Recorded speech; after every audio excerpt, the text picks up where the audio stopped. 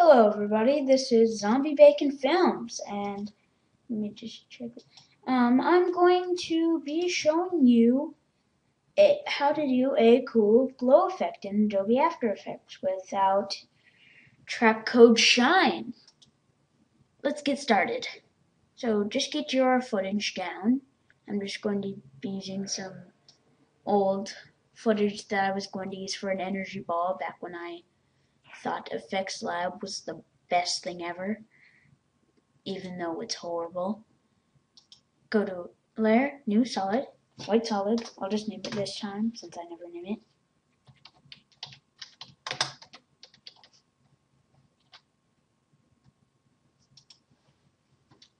Now, take your ellipse tool, as always. I mean, you don't have to, but I'm making an energy ball, so I use the ellipse tool. And press F for feather. And also right click this and go to Effect, Stylize, Glow.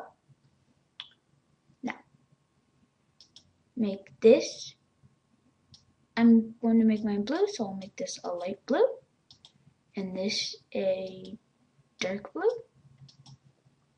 and feather it out, and put this up, wait, and put as A and B colors, turn this up a little, uh, turn the glow intensity and the glow radius up a little bit,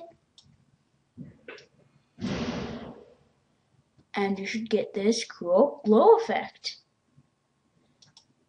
Now just play around with it for a little bit.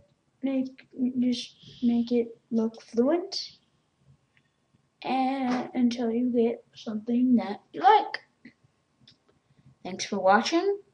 Zombie Zombie Bacon Prod and goodbye.